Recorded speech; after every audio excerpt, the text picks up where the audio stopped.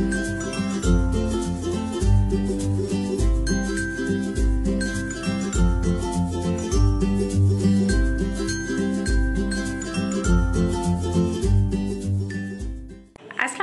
My YouTube family कैसे आप सब? आई होप कि आप सब ठीक होंगे और मैं भी बिल्कुल ठीक हूँ। तो अभी दोपहर का टाइम हो रहा है और मैंने बच्चों के लिए लंच में बनाने हैं बर्गर जो कि बर्गर उनको बहुत पसंद है और इसकी रेसिपी भी मैं आपके साथ शेयर करूँगी और साथ साथ जो मैंने आपको बताया था कल जो मैंने शॉपिंग की थी, वो मैंने क्या क्या लिया था बच्चों के लिए, वो भी आपके साथ शेयर करूँगी। तो चलें पहले स्टार्ट करते हैं। बच्चों के लिए पहले मैं बर्गर बना लेती हूँ और उसके बाद जो शॉपिंग थी, वो मैं आपके साथ शेयर करूँगी। बर्गर के लिए जो मैं बन यूज़ करती हूँ, मैं डॉन के बन यूज़ करती हूँ और इस तरह से यहाँ पे मैंने ये सॉस बना लिया है। इसमें मैंने कैचअप और मायनेस दोनों को मिक्स कर लिया है और इसके साथ साथ ये जो सलाद मैं इसके अंदर ऐड करूँगी, उसको भी मैंने पहले से ही कट करके रख लिया है और यहाँ पर एक मैंने एग लिया है और इसके साथ ये जो कबाब हैं, ये पहले ही मैं हमेशा बच्चों के लिए बना के फ्रीज़ करके रख देती हूँ। कभी भी जैसे बच्चों का मूड बनता है तो घर पे ये चीज़ें मैं पहले ही बना के स्टोर कर लेती हूँ। तो यहाँ पे तवा गर्म हो चुका है हमारा तो जलते हैं। अब इसको मैं जल्दी से फ्राई कर लेती हूँ। इसकी जो रेसिपी है ना, बहुत ही ईजी है और मैं ट्राई करती रहती हूँ कि मैं बच्चों के लिए ऐसे ईजी ईजी से खाने बनाऊँ और जो कि उनको पसंद भी आ जाए और बहुत ही कम टाइम ये लेता है, बहुत ही कम टाइम में कुछ ऐसा पक जाए। और कबाब जो कि मैंने ऑलरेडी बना के रखे हुए थे, अगर आप कहेंगे तो वो भी बहुत ही इजी हैं जो कि घर पे बन जाते हैं। मैं आपके साथ ज़रूर जब नेक्स्ट टाइम अब ये ख़त्म होने वाले हैं नेक्स्ट टाइम इनको बनाऊँगी तो ज़रूर मैं वीडियो बनाऊँगी उसके और आपके साथ शेयर करूँगी।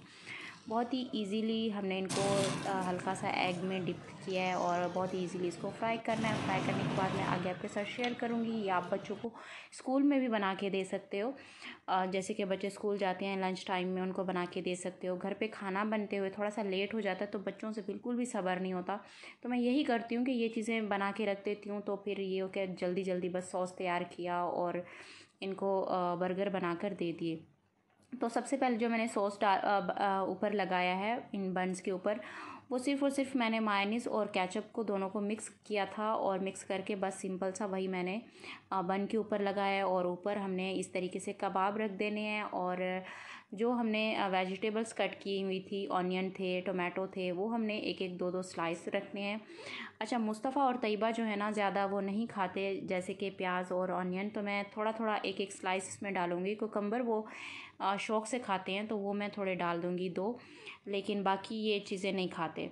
तो इसलिए मैंने इनमें जो है ना थोड़ा सा कम रखा है और बाकी सेम है, बाकी मैं इसमें मायनीस लगा दूँगी ऊपर से और दैट्स इट हमारा जो बर्गर है, वो बिल्कुल तैयार हो चुका है। अच्छा ये जो लास्ट वाला है ना, ये तैयबा का है, उसको मायनीस पसंद नहीं है तो इसलिए मैं इसमें कैचअप डाल देती हूँ।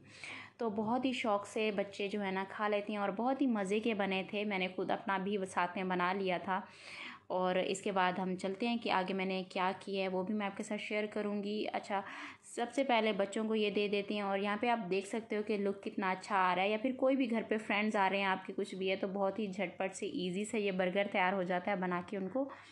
दे सकते हो। मुझे भी बहुत बहुत भूख लग रही थी इनको देख के तो साथ साथ मैंने भी वहीं बैठे बैठे खा लिया और बच्चों को भी साथ में खिला के मैं जैसे फ्री हुई, फिर मैं अंदर आ गई रूम में और यहाँ पर अब मैं आपको दिखाने लगी। ये रही हमारी शॉपिंग जो कि मैं कल करके लाई थी और अभी तक शॉपर में सब वैसे ही रखा हुआ है और अब जो है ना इसको निकालते हैं और मैं आपको सब एक एक चीज़ करके दिखाती और अगर आपने कल वाला मेरा व्लॉग देखा होगा तो वहाँ पे मैंने ये बताया था, जब मैं शॉपिंग करने गई थी, ये शूज़ लिए थे। सेम कलर मुझे नहीं मिले, तैयबा और आयत के मैंने दोनों के लिए थे।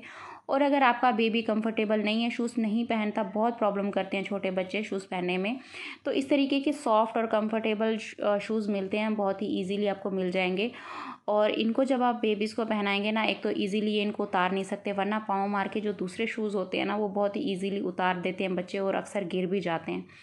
जैसे कि कहीं ट्रैवल कर रहे हैं तो बच्चे गिरा भी देते हैं। अच्छा ये शूज़ लिए, उसके बाद मैंने ये दो कुर्तियाँ ली हैं, इनकी स्टिचिंग इनका काम मुझे बहुत बहुत अच्छा लगा है। तो दोनों की मैंने सेम ही यहाँ पर दो कुर्तियाँ ले ली, बहुत अच्छी स्टिचिंग थी इनके बाद। और मैंने ये फीडर लिया, जिसकी वजह से मैं घर से निकली थी।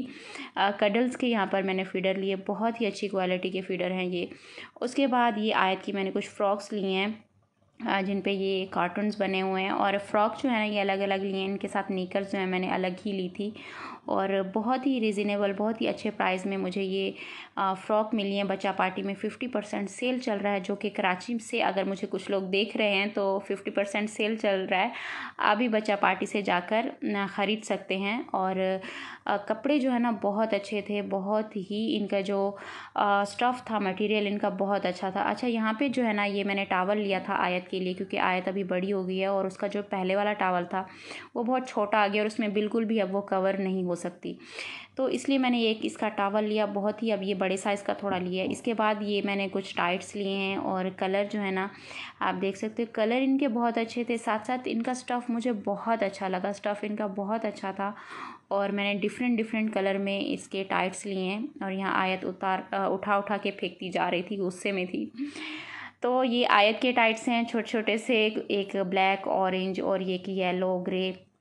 तो थोड़े डिफरेंट लिए हैं जो कि टी शर्ट्स जो है ना, मैंने अलग अलग काफ़ी सारी इस तरीके से ले ली थी तो टाइट्स जो है ना, सबके साथ मैच हो जाती हैं। अच्छा एक ये मैंने ट्राउज़र लिया है आयत के लिए, जो कि बहुत ज़्यादा आजकल ट्रेंडिंग में भी है, चल रहा है और बहुत क्यूट भी लगता है।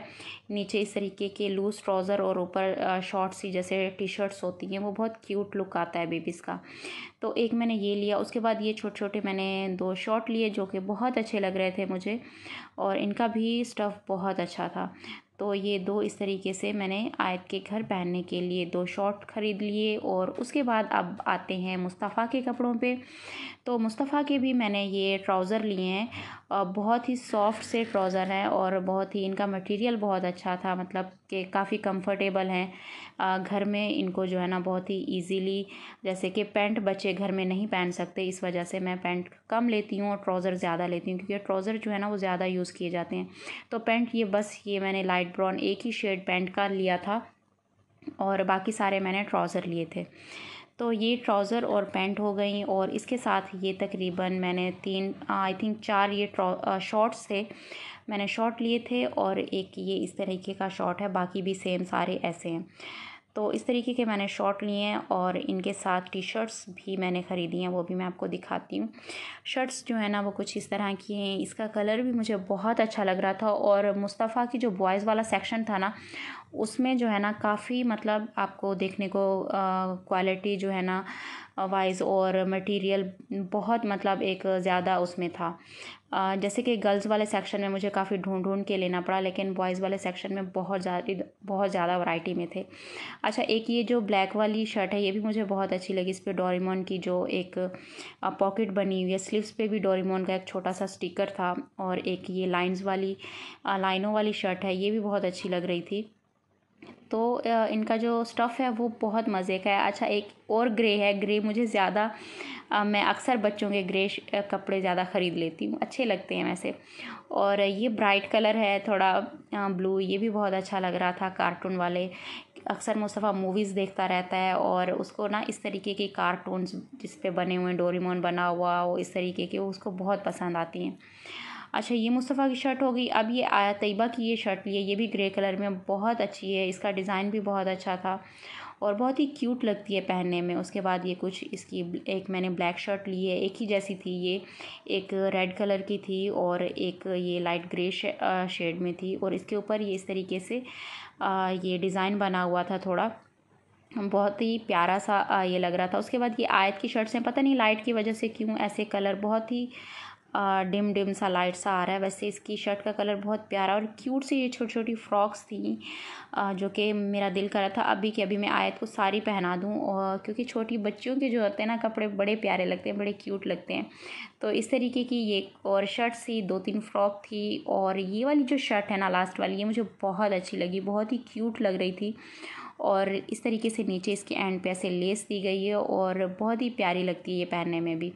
और बाकी रूम की हालत आपके सामने है, जो कि मैं सब कुछ आपको दिखाती गई हूँ और साथ साथ इनको इस तरीके से रखती गई हूँ। अब मैं इनको तो ये थी आज की वीडियो। उम्मीद करती हूँ कि जो मैंने शॉपिंग की है थोड़ी बहुत आपके साथ वो मैंने शेयर की है।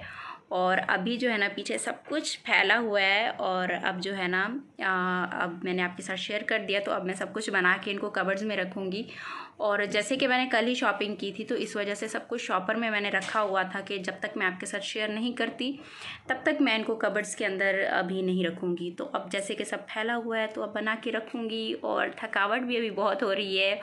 और जब थकावट होती है, आपको पता ही है कि मैं चाय पीती हूँ। तो अब जाऊँगी, अपनी चाय बनाऊँगी और चाय मज़े से बैठ कर पीऊँगी और मिलते हैं नेक्स्ट वीडियो में। और वीडियो अच्छी लगे तो लाजिम इसको लाइक कर दीजिएगा। तो तब तक के लिए अल्लाह हाफिज़ बाय